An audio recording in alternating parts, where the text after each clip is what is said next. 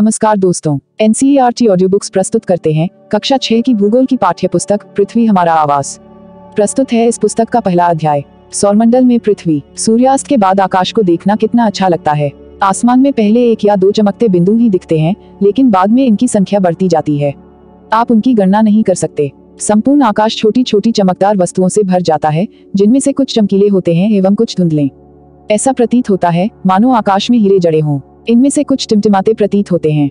लेकिन अगर आप उनको ध्यान से देखेंगे तो आप पाएँगे कि इनमें से कुछ की टिमटिमाहट अन्य से अलग है।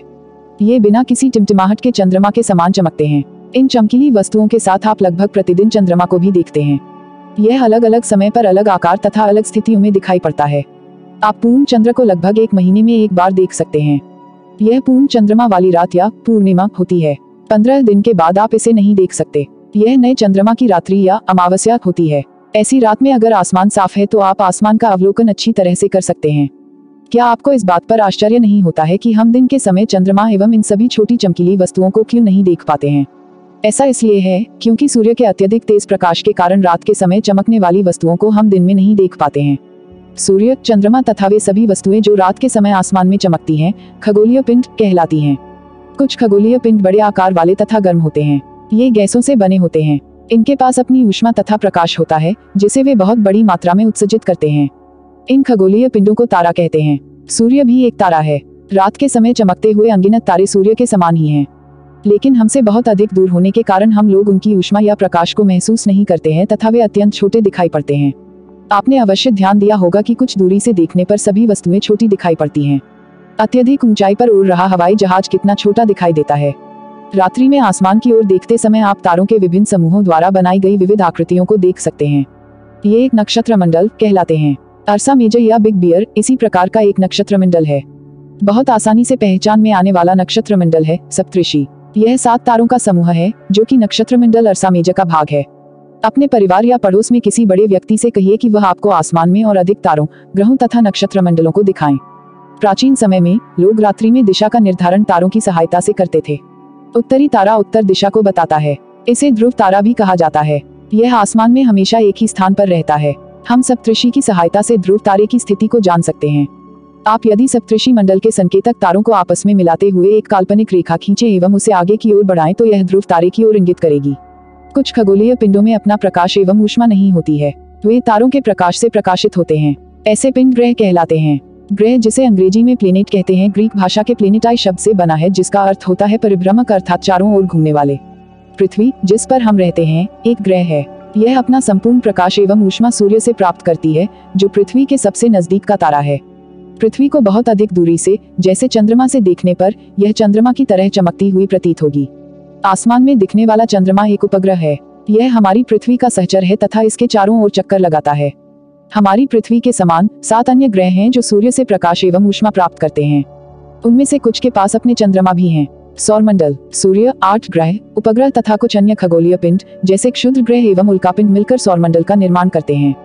उसे हम सौर परिवार का नाम देते हैं, जिसका मुखिया सूर्य है। सूर्य सूर्य सौरमंडल के केंद्र में स्थित है। यह बहुत बड़ा है एवं अत्यधिक गर्म गैसों से बना है। इसका खिंचाव बल इससे सौरमंडल को बांधे रखता है।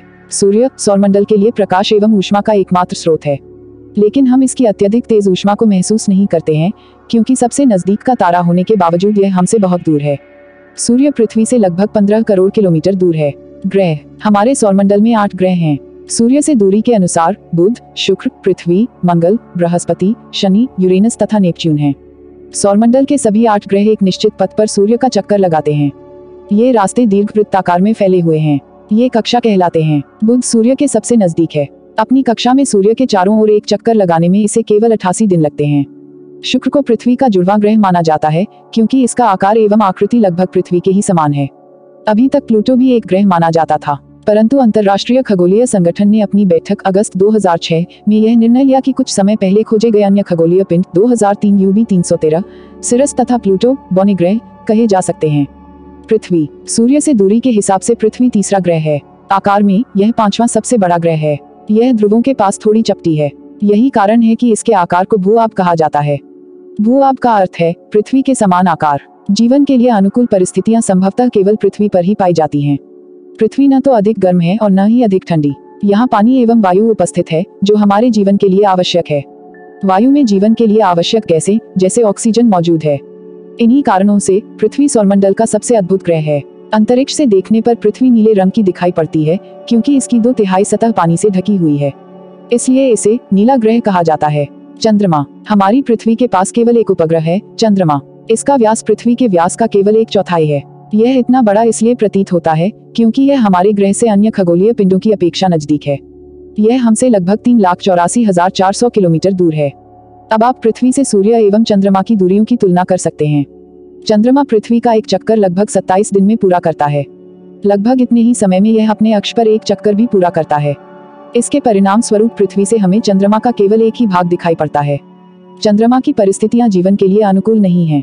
इसकी सतह पर पर्वत, मैदान एवं गड्ढे हैं जो चंद्रमा की सतह पर छाया बनाते हैं। पूर्णिमा के दिन चंद्रमा पर इनकी छाया को देखा जा सकता है। क्षुद्र ग्रह, तारों, ग्रहों एवं उपग्रहों के अतिरिक्त असंख्य छोटे पिंड भी सूर्य के चारों ओर चक्कर लगाते हैं। इन पिंडों को क्षुद्र ग्रह कहते हैं। ये मंगल एवं बृहस्पति की कक्षाओं के बीच पाए जाते हैं।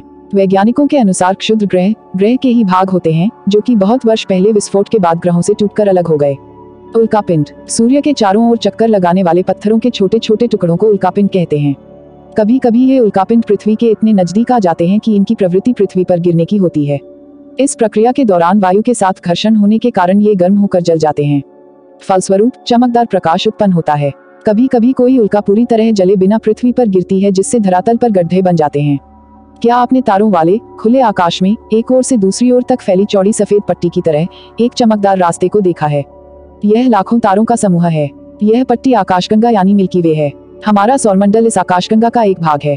प्राचीन भारत में इसकी कल्पना आकाश में प्रकाश की एक बहती नदी से की गई थी। इस प्रकार इसका नाम आकाशगंगा पड़ा था। आकाशगंगा करोड़ों तारों, बादलों तथा गैसों की एक प्रणाली है। इस प्रकार की लाखों आकाशगंगाएँ मिलकर ब्रह्मांड का निर्माण करती हैं। ब्रह्मांड की विशालता की कल्पना करना अत्यधिक कठिन है। वैज्ञानिक अभी भी इसके बारे में अधिक से अधिक जानकारी एकत्र करने में जुटे हैं।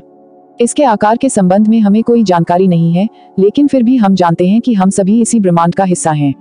हमारी पाठ्य पुस्तक का पहला अध्याय यहाँ समाप्त होता है। आपसे अनुरोध है कि इस ऑडियो बुक को ज़्यादा से ज़्यादा शेयर करें। इस ऑडियो बुक से संबंधित यदि कोई शिकायत या सुझाव हो तो आप हमें कमेंट बॉक्स में ज़रूर लिखें। आपकी प्रतिक्रिया हमारे लिए अति महत्वपूर्ण है, ताकि हम आपके लिए इस ऑडियो बुक को और भी बेहतर बना सकें। अब हम आपसे मिलेंगे इसी पाठ्य पुस्तक के अगले अध्याय में। तब तक के लिए खुश रहिए, मस्त रहिए और खूब मन लगाकर पढ़ाई कीजिए। जय हिंद, जय भारत।